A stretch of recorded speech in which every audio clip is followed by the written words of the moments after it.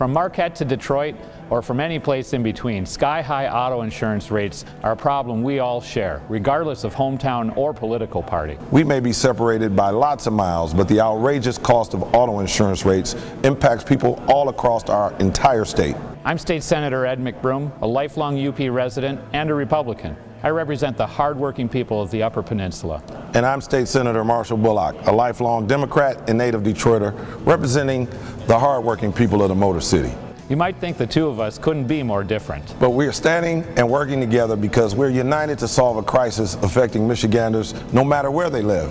Our car insurance rates are the highest in the nation and have been hurting Michiganders for generations. They criminalize our friends and neighbors who feel they have no other choice but to drive without insurance. The high rates force some of our friends and neighbors to break the law by driving without insurance. We are united in finding a solution to this problem so that families like mine and like mine and, and like, like yours can better protect the vehicles we drive and the people we love.